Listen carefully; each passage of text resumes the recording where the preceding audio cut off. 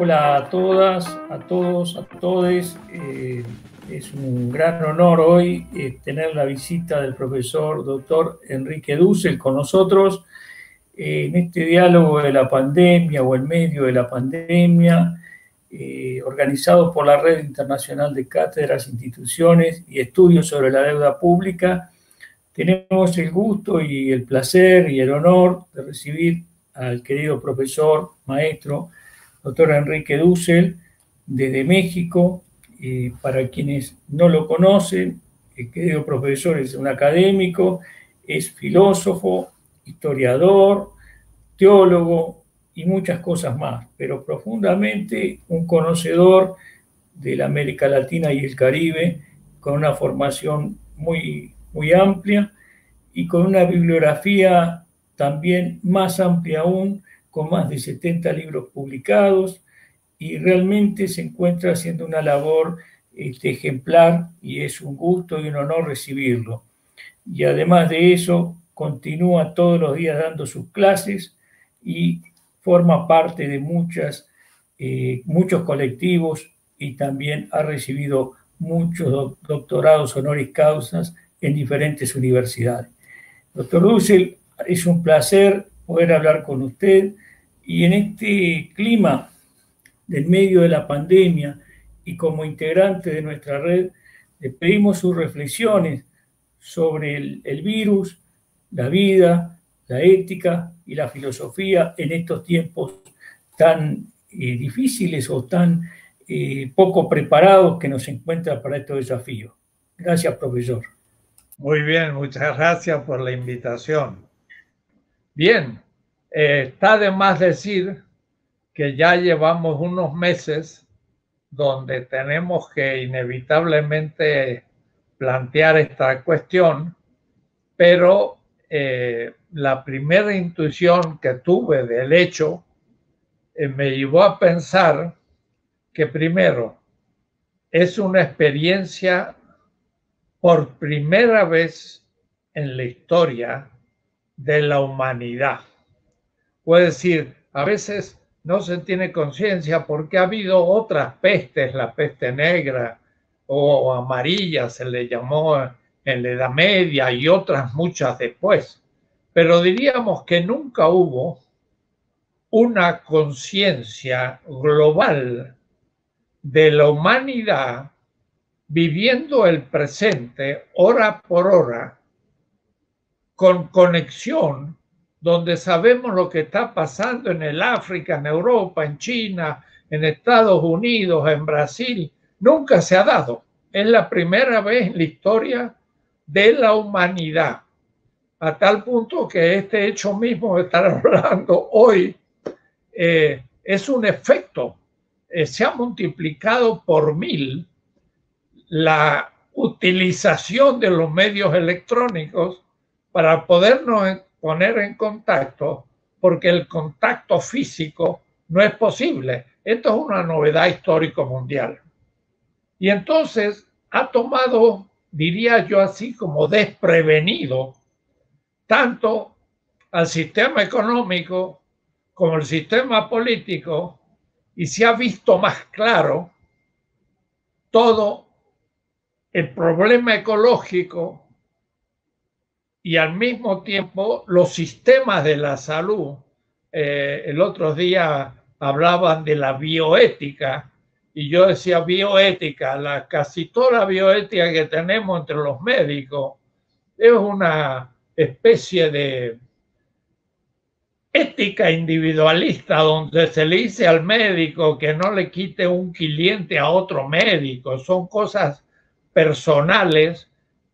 Hay temas más graves como la eutanasia, que es el avanzar la muerte en casos necesarios, pero son problemas individuales. Y entonces yo digo, hace años presenté en la Facultad de Medicina un proyecto de ética, de bioética en la Facultad de Medicina, pero empezaba por el sistema de la salud, un sistema completo, que significa no solo el médico, sino eh, los fármacos, y los fármacos no solo, sino las transnacionales de la química que producen los fármacos y, y el sistema de hospitales y de clínicas. Y es un inmenso sistema que justamente uno va quiso tener un cierto seguro para la población y después llegó Trump y lo desarmó porque quieren privatizar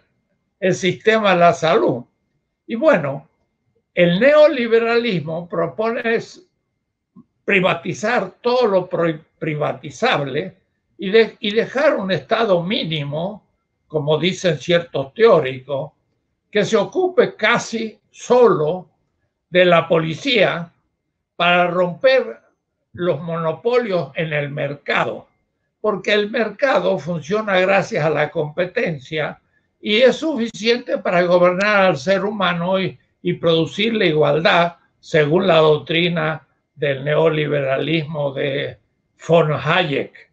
Y entonces hay unas teorías, hay prácticas, hay sistemas, y de pronto apareció este virus que es un producto de la modernidad, del proceso técnico, del agravio que estamos haciendo a la naturaleza y nos agarró desprevenido. Digo yo, agarró al sistema neoliberal imperante, capitalista, hegemónico, de una manera inesperada. Y por eso entonces que realmente es muy interesante el hecho de esta pandemia y todo lo que está generando como reflexión y debería ser ejemplar con respecto a la futura normalidad que no debería repetir lo que ha vivido la humanidad hasta ahora. Claro que todas las grandes instituciones internacionales quieren lo más pronto volver a la normalidad anterior al virus, pero por de pronto van a tener una crisis económica, política y de conciencia popular que no les va a ser fácil de superar. Y por eso que tenemos que aprovechar realmente esta situación.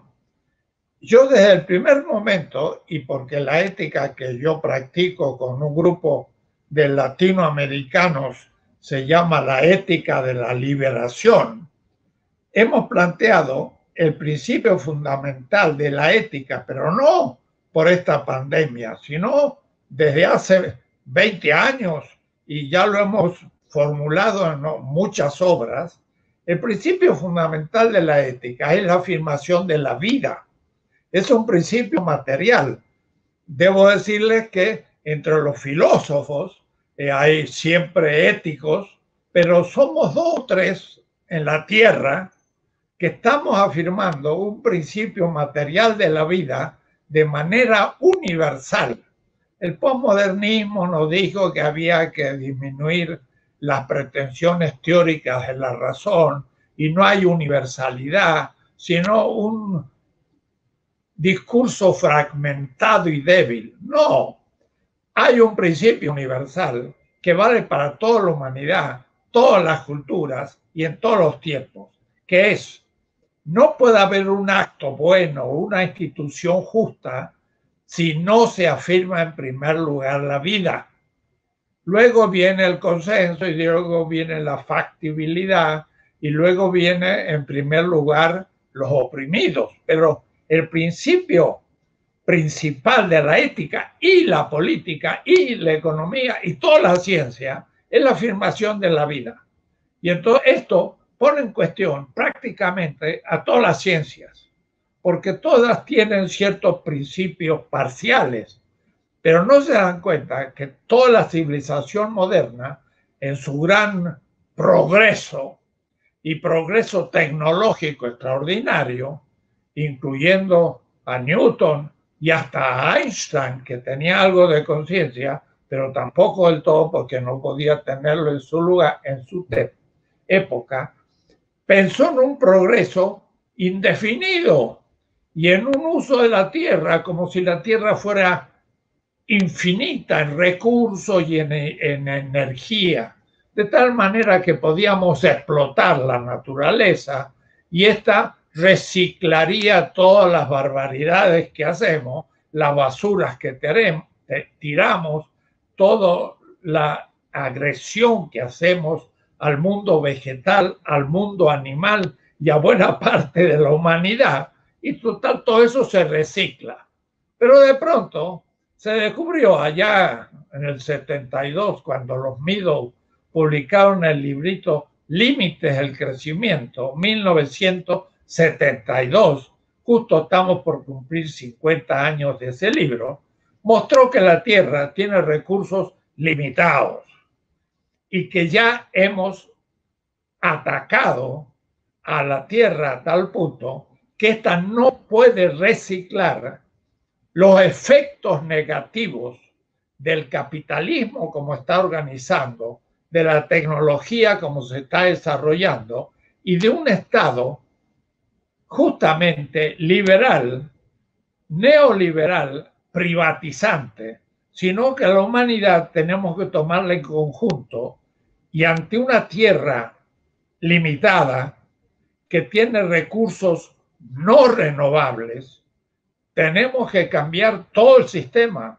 Pero el capitalismo no se, es apto para ese tipo de cambio, porque el capitalismo tiene como racionalidad el aumento de la tasa de ganancia o la ganancia simplemente.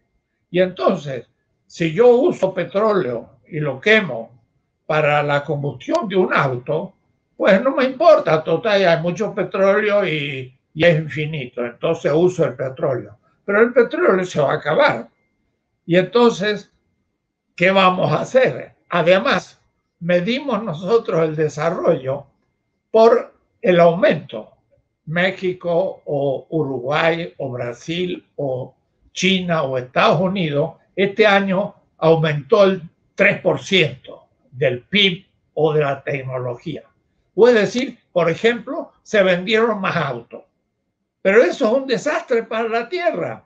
No aguanta. Y entonces medimos el desarrollo con medios que destruyen la posibilidad de la reproducción de la vida en la Tierra el problema ecológico.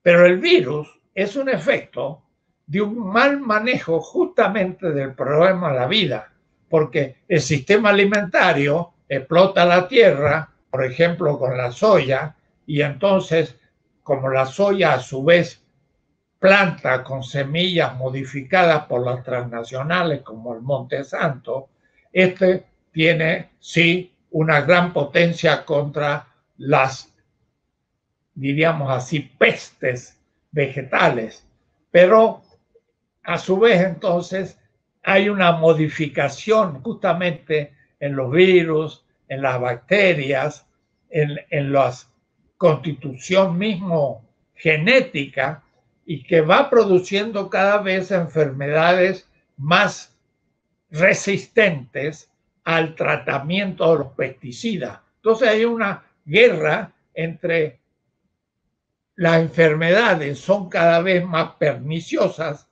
y las pesticidas cada vez más poderosos. Eso en el plano vegetal.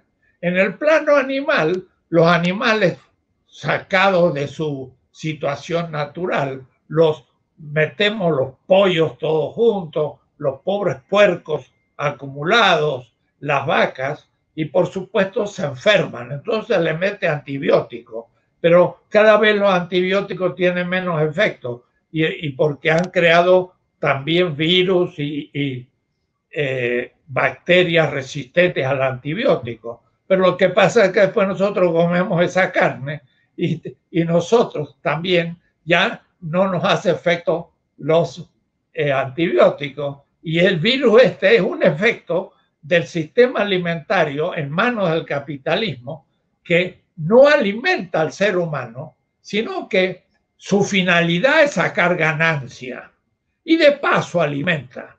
Pero si alimenta poco o mal, eso no les interesa mientras que la ganancia sea buena. El caso de México es brutal porque tenemos una obesidad de 60% en la población, con diabetes, la más alta del mundo.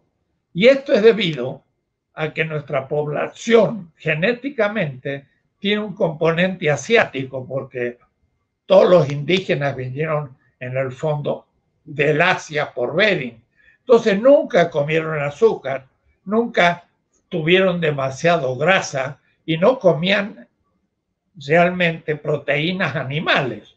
Entonces de pronto viene la Coca-Cola, vende Coca-Cola, México es el primer eh, consumidor de Coca-Cola per cápita en el mundo y tenemos una enfermedad de la diabetes de un gran porcentaje de la población con obesidad. O es decir, hemos destruido el equilibrio ecológico de la Tierra y el virus es un efecto de esta tecnología y del progreso de la, de la modernidad.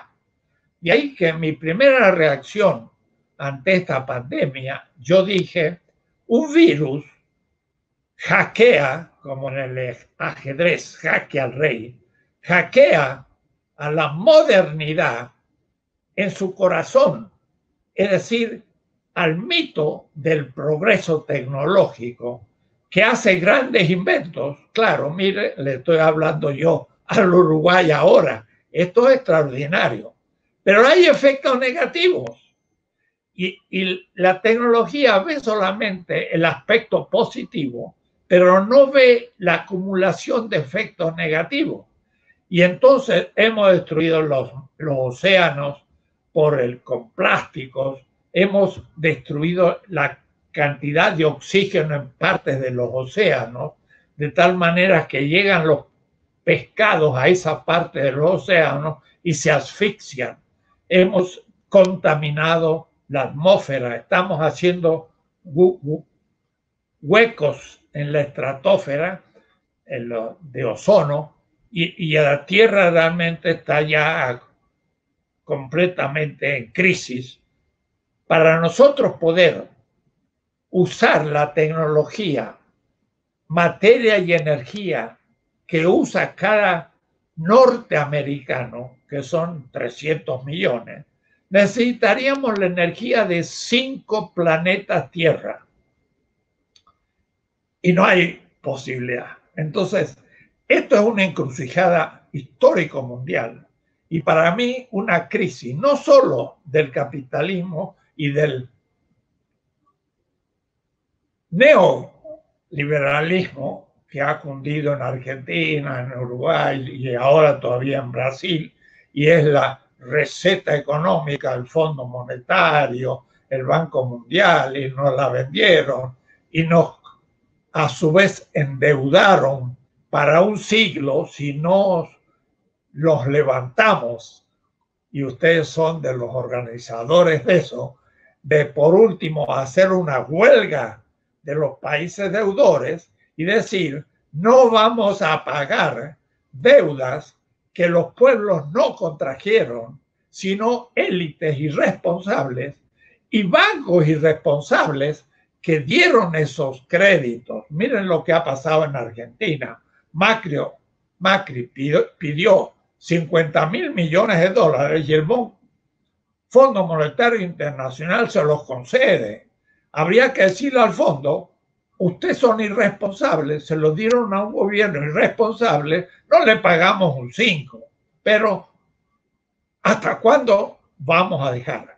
Es decir, es todo el sistema el que está en cuestión, ideológico, epistemológico, económico, político, porque hemos debilitado el Estado y necesitamos un Estado benefactor fuerte que tenga un buen sistema de la salud y que controle al mercado en favor de la gente y no que estafe a la gente, al pueblo, en favor de cinco o diez, que a su vez cuando tienen sus ganancias sacan el dinero de nuestros países periféricos y lo meten en los bancos norteamericanos o europeos. O decir que ellos en realidad prestan a corruptos y de inmediato vuelven a tener ese dinero en sus bancos porque la corrupción ellos mismos la han fomentado. Entonces, todo esto es todo un tema que yo soy filósofo ético y de filosofía política, que está al centro de una filosofía que debe ser crítica del pensamiento eurocéntrico y europeo y tenemos que dejar de ser descolonial, coloniales. Y, lo que pasa que las élites latinoamericanas, aún a veces la izquierda, no se da cuenta hasta qué punto somos epistemológicamente coloniales y todo nuestro sistema extrae riqueza y empobrece nuestro pueblo. Este virus nos ha puesto a pensar y espero que pueda rendir fruto porque no hay que dejar pasar la ocasión de modificar lo que viene.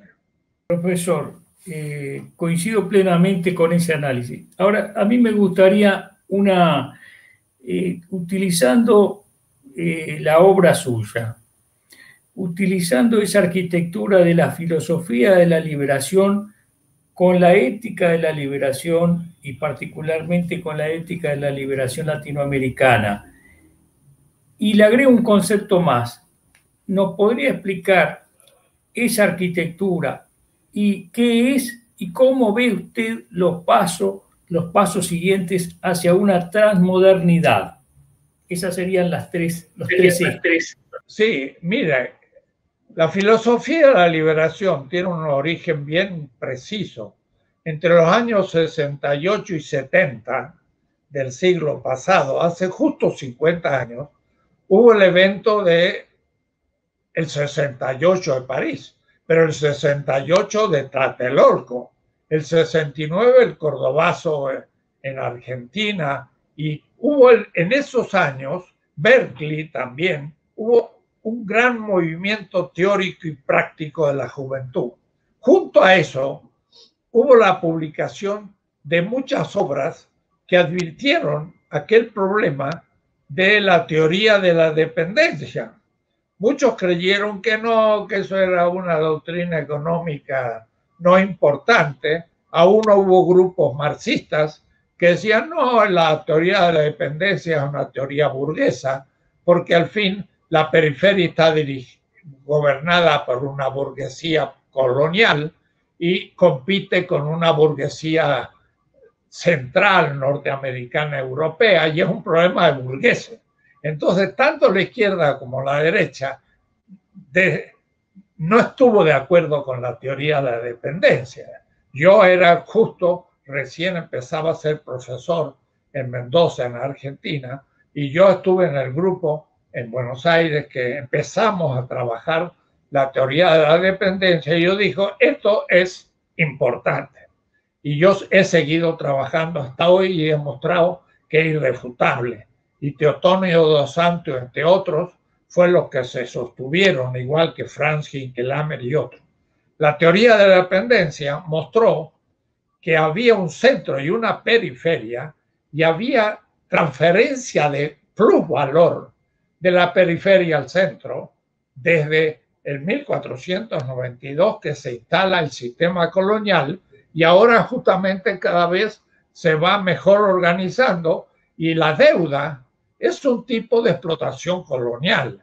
En vez de llevarnos la plata eh, como se hizo en Potosí o Zacatecas y 20 mil toneladas de plata en Potosí en el siglo XVI, se lo robaron los españoles pero no los españoles, los europeos, porque eso circuló por toda Europa en el imperio de Carlos V. Entonces, tenemos cinco siglos de dependencia.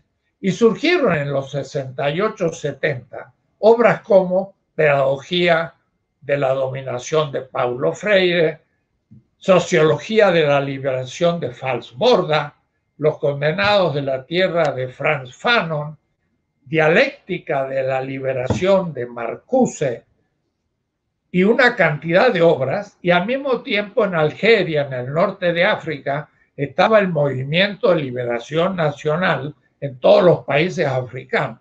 El tema de la liberación era muy central, había muchas obras, y entonces un grupo de filósofos dijimos, ¿y los filósofos qué estamos haciendo ahí?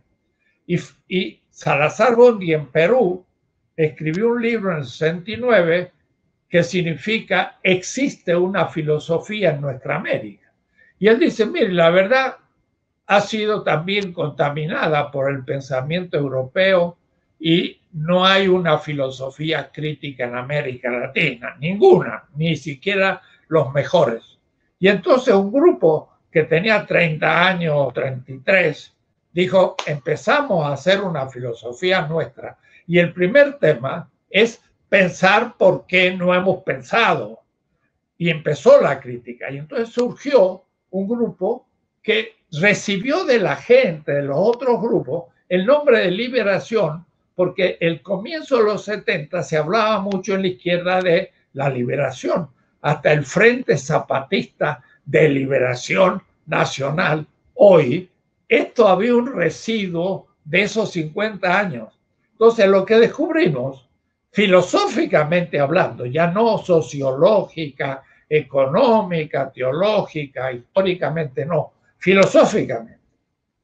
Miren, por ejemplo, lo simple del tema. Parménides, miren a dónde me voy, allá la Magna Grecia, siglos antes de la era cristiana, Parménides dijo, el ser es, el no ser no es. Alguien diría, bueno, una cosa tan simple, yo no sé para qué gasta tiempo de enunciarlo. Pero traía su cola. El ser es griego. El no ser es lo no griego. Es como Aristóteles. Aristóteles no definió y dijo, el viviente que habita la ciudad es el ser humano. No, no. Él dijo, el viviente que habita la polis es un ser humano. Y la polis era solo griega. Los egipcios no eran griegos, los asiáticos no eran griegos, los de la Macedonia, que eran los europeos, no eran griegos, eran los bárbaros. Y entonces, esos no son humanos. El ser humano es el viviente que habita en la ciudad, pero el que no habita en la polis griega es un bárbaro. Y bien, dijimos nosotros, los latinoamericanos somos justamente esos bárbaros somos el no ser de Parménides. El ser europeo o norteamericano, el, la metrópolis, y el no ser son los que están en la colonia y América Latina de 1492, con la invasión de Colón, no el descubrimiento de América, empezó la colonización. Es decir, somos el no ser, somos el no humano hasta hoy, mire el, Trump cómo trata a los latinos y a los mexicanos y a los latinoamericanos. Nos trata como basura, igual que a los, a los afros, ¿no? Entonces, el no ser es un tema fundamental en la filosofía. Y nosotros dijimos, la cuestión está en pensar desde el no ser y poner en cuestión el ser. Y el ser es la filosofía centralmente hegeliana. Y nosotros vamos a hacer la crítica de esa filosofía. Y empezamos a hacer la crítica desde los presocráticos hasta Habermas y hasta Zizek y hasta Agamben hoy. Todos son eurocéntricos y nosotros podemos criticarlos. En América Latina pues hay muchos Foucaultianos. Foucault, Foucault es también un francés colonialista y por último, hasta neoliberal, miren lo que le digo, y, tenemos gente de izquierda, Foucaultiano, haciendo la crítica de que si son eurocéntricos. Entonces, filosóficamente hablando, surgió un movimiento que justo ahora cumple medio siglo y que alienta una ética. Y esta produce una política. Yo estoy entregando a Trota el tercer tomo de tres tomos gordos, ¿no? Le voy a mostrar uno de esos. Ah, bueno, lo tengo aquí atrás, no vale la pena. 900 páginas, el tomo segundo, y viene el tercero, que es una política latinoamericana de la liberación, donde planteo extensamente la crítica a los grandes teóricos europeos actuales, ¿no? bueno, usted lo tiene ahí. Bueno, el primero de ellos es la historia de una política desde América Latina. Los otros son sobre Marx, porque durante 10 años me dediqué a leer a Marx para ver si funcionaba o no funcionaba la teoría de la dependencia. Muy bien.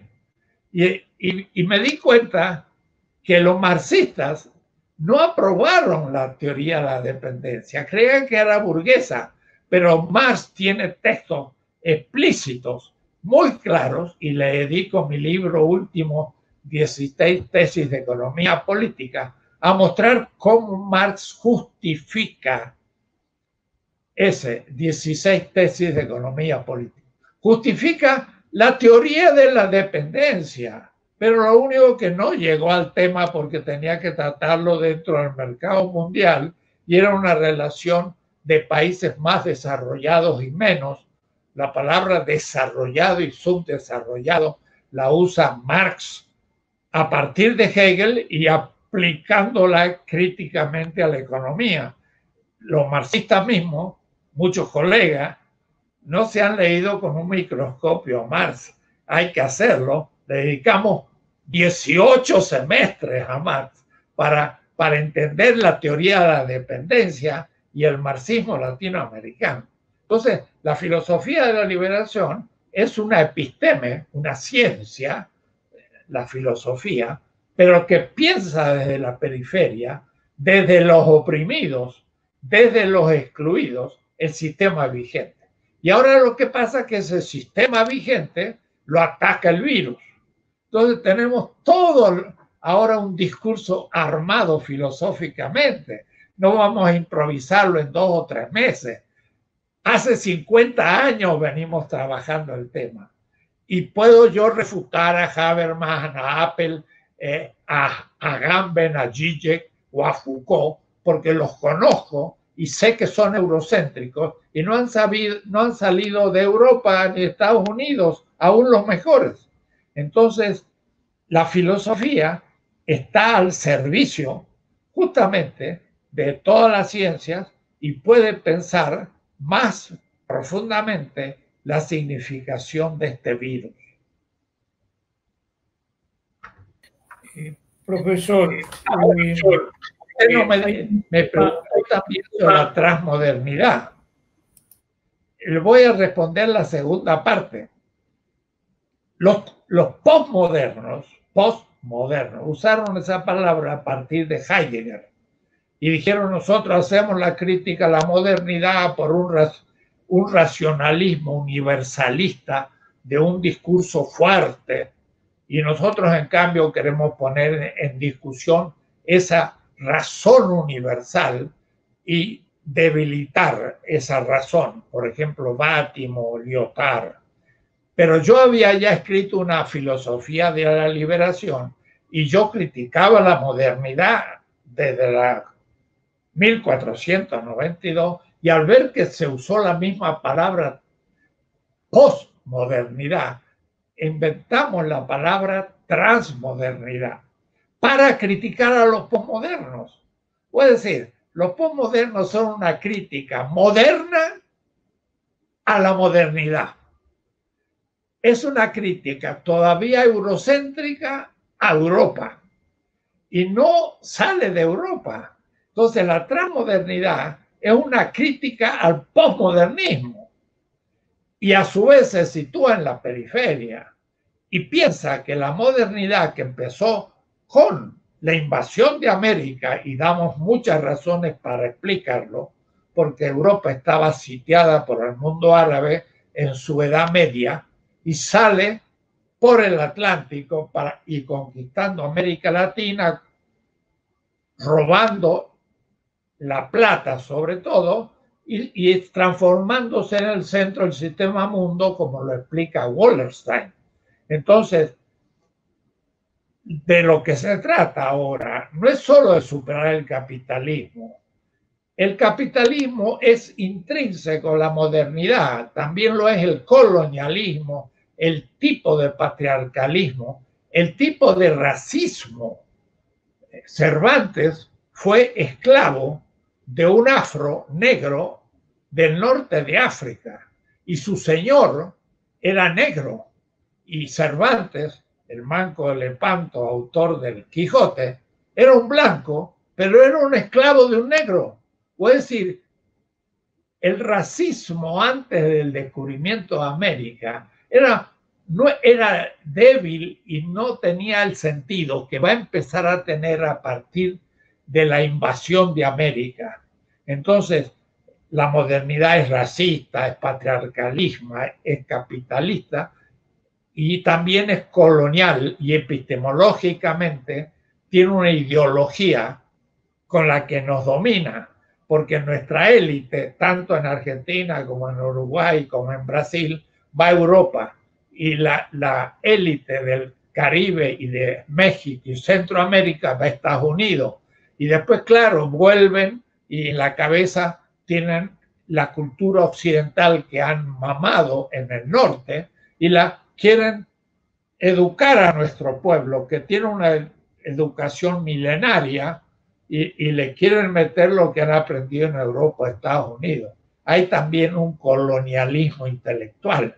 Entonces, todo esto hace pensar que estamos al fin de la modernidad y, estamos transitando a una nueva edad del mundo.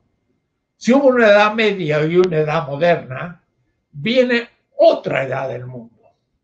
Va a ser una edad del mundo que no puede ser capitalista. ¿Pero por qué? Porque ahora hay motivos que pueden probar empíricamente que la modernidad capitalista no tiene sobrevivencia y este virus es un pequeño signo de lo que acontece. Necesitamos una nueva cultura donde la vida sea el criterio del desarrollo, pero el desarrollo tiene que ser más bien el crecimiento de la vida y no de la tecnología o del capital o la acumulación de ese capital cada vez en menos manos de los bancos. Entonces, necesitamos un nuevo mundo y ese nuevo mundo le llamamos, por no tener nombre y ser puramente negativo, transmoderno. Entonces hay mucha gente que critica el capitalismo, pero lo hace todavía desde la modernidad, porque no ha analizado bien qué es la modernidad. Hay ecologistas que creen que la tecnología es el problema. Y no es la tecnología, es el criterio de elección de una tecnología antiecológica por el criterio de la tasa de ganancia. Es decir, que el peligro no es la tecnología, sino el criterio de subsunción de la tecnología en el proceso de producción. Y ese criterio, lo del capital. Lo antiecológico es el capital y no la tecnología. Todos los ecologistas, incluyendo la hermosa muchacha sueca, niña, la Gerba, esta gran ecologista, piensa que hay que seguir lo que dice la ciencia para no dejar que se extinga la vida en la Tierra. Pero lo que pasa es que la ciencia misma puede ser una ciencia eurocéntrica. Entonces, no es tanto la ciencia la que nos tiene que auxiliar, sino el ataque al capital, que es el criterio de destrucción ecológica. Quiere decir que la transmodernidad es una nueva edad más allá de la modernidad, más allá del capitalismo, más allá del Estado liberal, pero cuidado, también más allá del socialismo real, porque también el socialismo real era moderno, tenía un criterio que es el aumento de la tasa de producción y no tenía ninguna conciencia ecológica el capitalismo real, el socialismo real.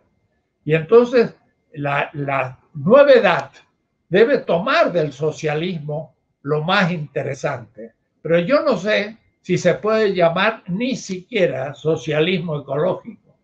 Vaya a saber el nombre que tenga, pero es una nueva edad mucho más profundo que simplemente luchar contra algunos aspectos de esa nueva civilización.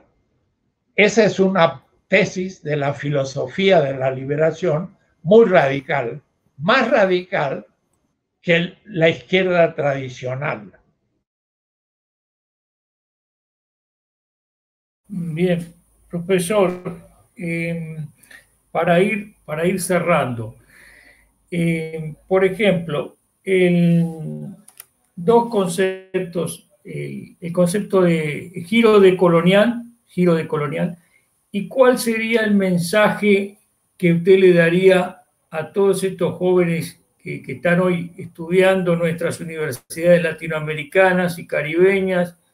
¿Y cuál sería el mensaje que usted le daría hoy para que sigan estudiando estos temas, para que sigan profundizando, para que vayan pensando de una manera no colonial, o sea, decolonial, y con un pensamiento y unos ojos que sean desde la América Latina, desde, desde el África, desde el Asia, pero no desde esos centros de poder que realmente ya sabemos por dónde van y, cómo y cuáles son las consecuencias que estamos viviendo hoy, ¿no?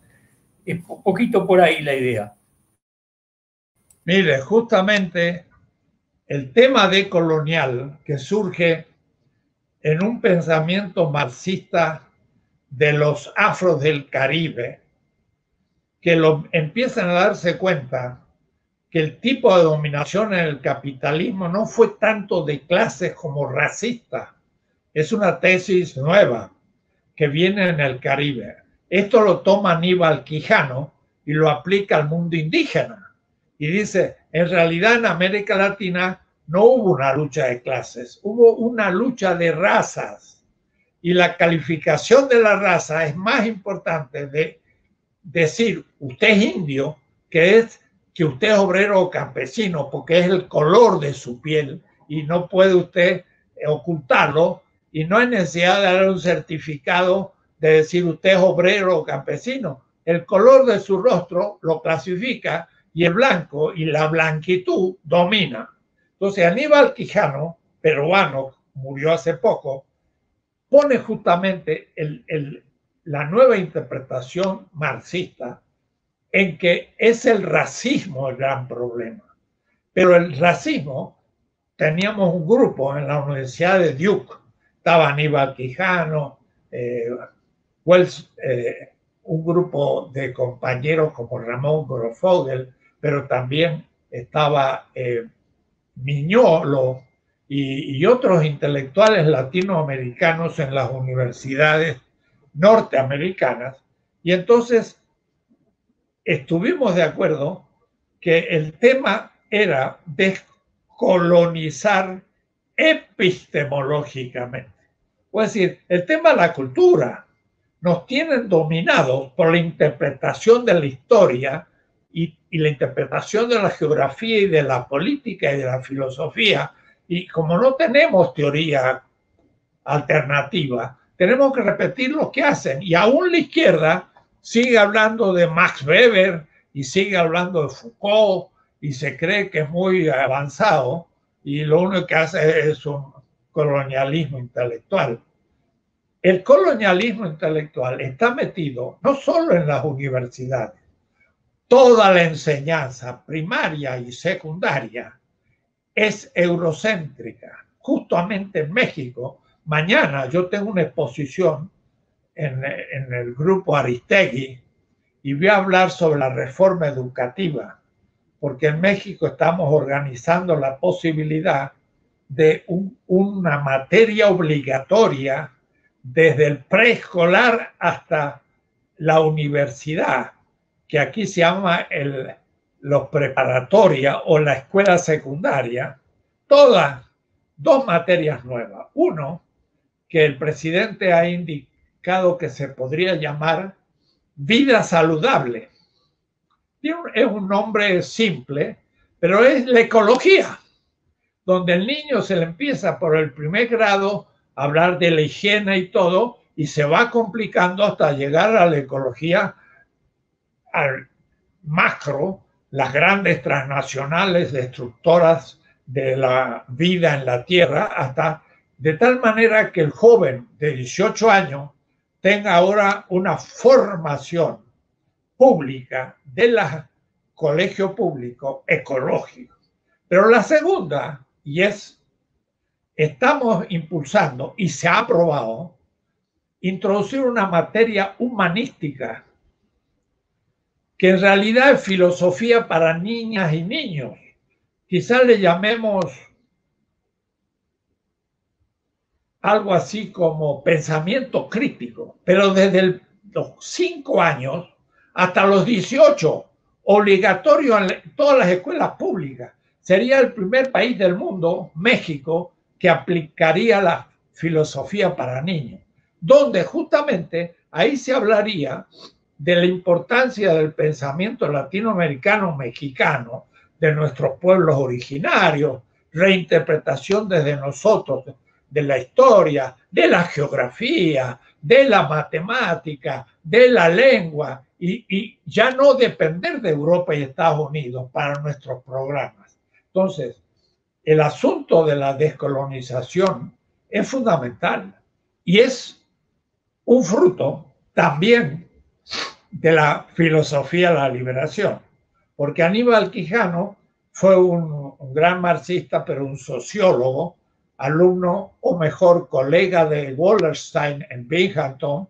y fraguó el concepto de colonización epistemológica.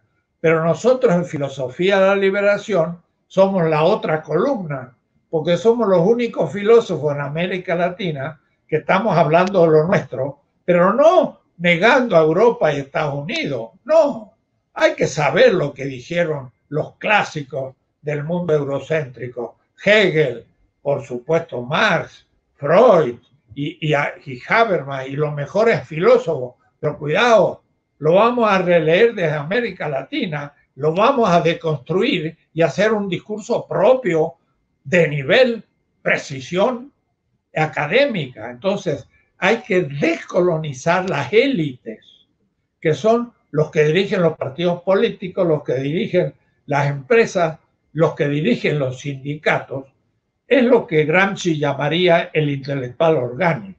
Pero el intelectual orgánico tiene que tener una ideología propia.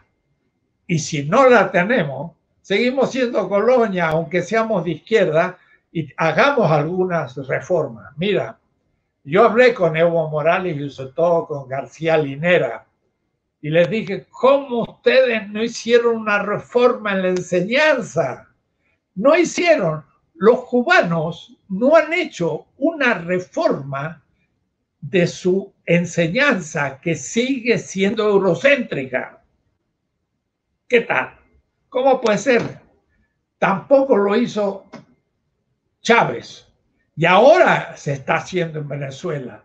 Hay todo un instituto de descolonización. Ahora empezamos.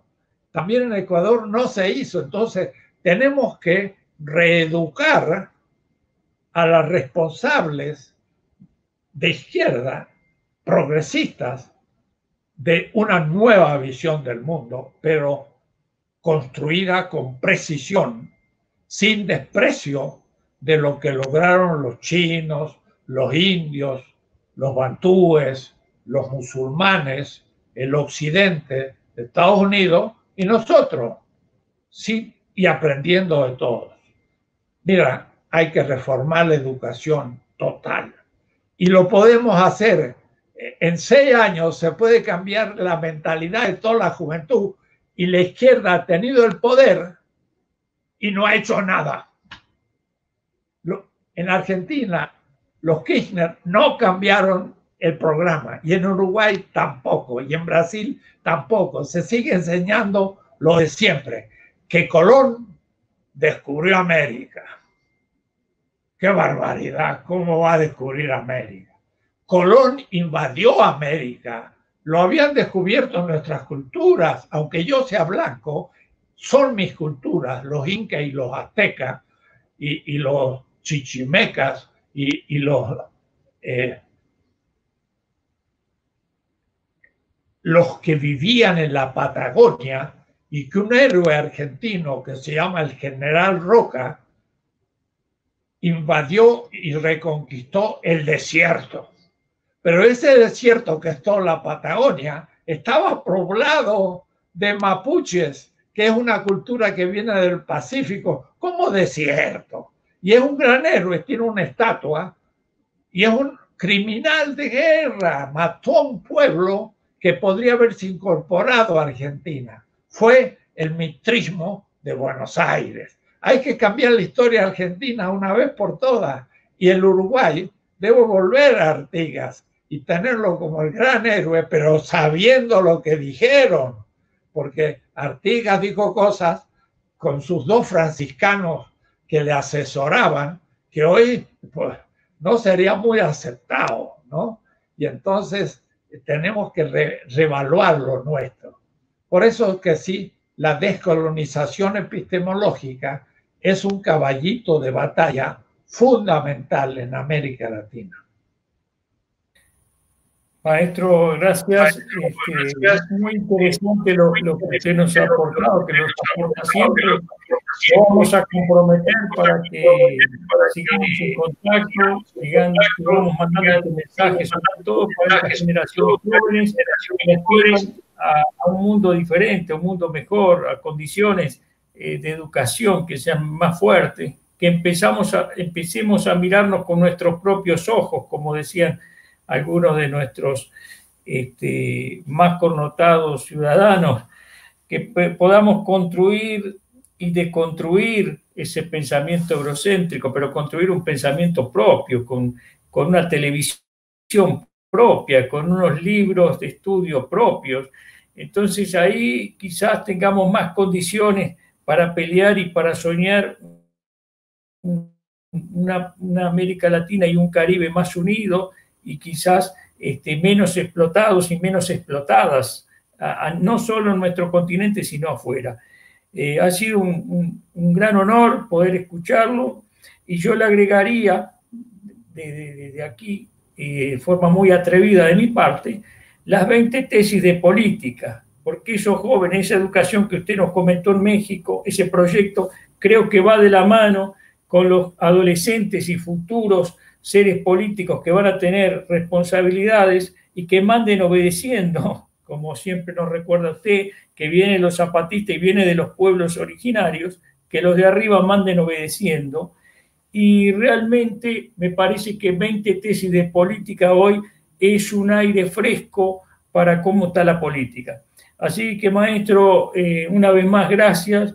Este, usted es argentino, mexicano, pero acá en el río de la Plata eh, es un río lo que está nada más. Es un río porque las fronteras nos unen más las, cosas en común y nuestra cultura que las diferencias. Mire, le agradezco esas palabras y yo le recomendaría a los jóvenes que escuchen este programa de que todas mis obras, muchas, más de 50, están en mi página y las pueden bajar gratis. Y entonces los libros que usted mostró se pueden leer en casa y bajarlo en un blog que cuesta pues 5 dólares o 3 dólares, ¿no? Digo esto porque algunos dirán, ¿cómo sigo pensando lo que dice el profesor Dussel? Pues está todo escrito y hay que leerlo y se puede leer, está en la página simplemente ponen mi nombre completo.com, C-O-M, y aparece la página y, están todas las obras. Y esa obrita, 20 tesis de política, es un dar vuelta, pero es una síntesis. Los tres tomos grandes son una explicación exhaustiva para las escuelas de política que deben tener los partidos progresistas de América Latina. Fray Beto dice, uno de los errores del Partido Traballista en Brasil fue el no tener una ideología política. Tenemos que ahora poner en el asador la creación de una política y una ideología de nuestros partidos progresistas. Ya es tiempo. Así que hasta luego. Los saludo y nos vemos. Gracias, maestro, y recordarle que desde el 2019 el doctor Enrique Duque forma parte de, las personalidades que integran la red internacional de cátedras, instituciones y personalidades sobre el estudio de la deuda. Una vez más, gracias, profesor, y estamos en contacto.